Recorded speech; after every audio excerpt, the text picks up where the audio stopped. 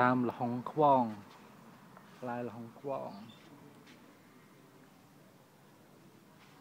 នេះខំនេះនេះហើយនេះផ្លែវាណាផ្លែចឹង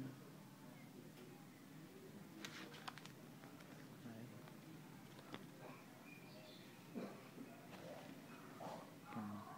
ចាំចៅ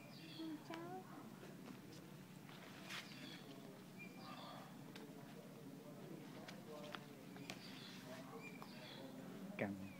កុំឲ្យដល់មុខខ្ញុំកុំចង់មកបាំងដៃតើឃើញហើយ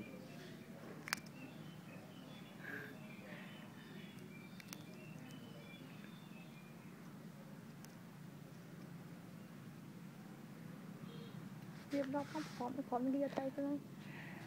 ក្របនេះលើគេថាយកទៅព្យាបាលជំងឺឬដងបាន យកក្របវាខ្មៅខ្មៅហ្នឹងយកទៅរោលជាមួយនឹងភ្លើង